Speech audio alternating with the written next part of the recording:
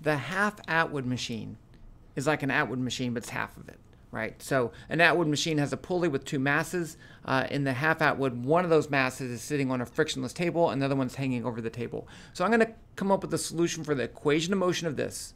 Uh, using Lagrangian mechanics. So in Lagrangian mechanics, what you do, number one, you need to pick uh, some coordinates to describe the system. And I'm going to do that in a second. Once you do that, I, they're generically called Q instead of X, Y, and Z, just Q, whatever. It could be anything. With that, we determine the Lagrangian, which is the kinetic energy minus the potential energy. And then the trajectory of the system has to follow this equation, which is the Euler-Lagrange equation, which says that the uh, integral of L over some time has to be minimized, and the solution to that has to satisfy this. So that says the partial of Lagrangian respect to the, the variable q minus the time derivative of the partial respect to q dot, where q dot is the derivative respect to time, is equal to zero. So let's, I'm not to, I have an explanation of Lagrangian mechanics. I just want to solve this problem. So the first thing that we're going to do is to define the system. And so it seems kind of difficult to pick some coordinates. So let's just pick coordinates and then figure it out from there. The, the first thing we want to think about is how many degrees of freedom. If how many numbers would I need to completely describe where this is at any given time? And, and the answer should be one, right? Because if this moves down, if I know the position of this one, then I should know the position of that one. So it, it may be a little bit difficult job to get them into actual usable coordinates, but let's just do it anyway. So here I have mass 1, here I have mass 2. So let's call this, let's have some arbitrary location, uh, and I'm going to call this distance y2. And y2 is going to tell me the location of mass 2. Now I could have over here uh, a variable called x1 to tell me the position of mass 1. And it, there is a case where you'd actually use both of those. But here I want just one of them. So I know that if I go up here, which is going to be y2 plus this string, and then over here to the wall, that should be a constant length because as, as y2 decreases, x1 should increase. So I can write an equation of constraint like this. I can say uh, x1 plus y2 plus some constant, I'll call it c1, is equal, that's the length of the string. I didn't want to use L, you know why, right? You know why. Is equal to some other constant C2. That has to be true, right? That says this total length is constant. So the total length from here to there is constant C. Well, I can subtract both sides from C1 and get some other constant, and I can write this as x1 plus y2 equals C. I'm just going to call it C. Okay, and I'm going to use that because now what I need to do is to get the kinetic energy of both of these masses. So, and the easiest way to get the kinetic energy, I can say T2 is 1 half, that's the kinetic energy of mass 2, M2, x2 dot squared plus y2 dot squared. It's the velocity squared. So the velocity is, the, in the Cartesian coordinates, is the x velocity squared plus the y velocity squared, plus z, I left off z because z went on vacation, z's gone. Um, you could add z if you want, if that makes you happy. So for this case, y2 is a Cartesian coordinate, and it doesn't move in the x direction, so that's 0. So t2 is 1 half m2 y2 dot squared. What about the kinetic energy of that one? Well, t1 is 1 half m1 x1 dot squared plus y1 dot squared. But if that stays on the table, then y1 is constant, and the derivative is 0, so that term goes away. But I have x1 dot squared. I don't want x1. I, I want one variable. So over here, let's solve this for x1. x1 equals c minus y2. Now I can take the derivative of this. The derivative of x1 is x1 dot. And I have to take the derivative of the right-hand side. So the derivative of c is just 0. And the derivative of negative y2 is negative y2 dot. Now I can put that in over here for x1. So x1 dot squared is going to be negative y2 dot squared. So this is going to be 1 half m1 y2 dot squared. So the total kinetic energy is the sum of those. Now what about the potential? Um, let's call this I shouldn't do that really. I should, okay, let's not. I'm going to say this is y equals 0. I already did it down here. Let's be consistent. So the potential of this mass is going to be uh, m2 g y2 plus m1 g y1. I'm going to leave it like that. Now remember, y2 changes, y1 does not. Okay. y1 is constant. With that, I can write the Lagrangian L equals T. Now notice these both have a y2 dot squared, so I can write this as 1 half m1 plus m2 y2 dot squared minus the potential, so it's going to be minus m2 g y2 minus m1 g y1. That's my Lagrangian. I only have one variable, y, right, y dot. So I can I only need one of these Lagrange equations.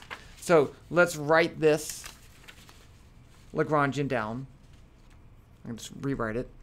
L 1 half m1 plus m2 y2 dot squared minus m2 g y2 minus m1 g y1. So that's what I have for my Lagrangian. Now I can use the Lagrangian, the Euler-Lagrange equation. So just as a reminder, the partial of L with respect to y2 minus the derivative with respect to time of the partial of L with respect to y2 dot equals 0. So let's start with this first part, the partial of L with respect to y2. So this is a partial derivative.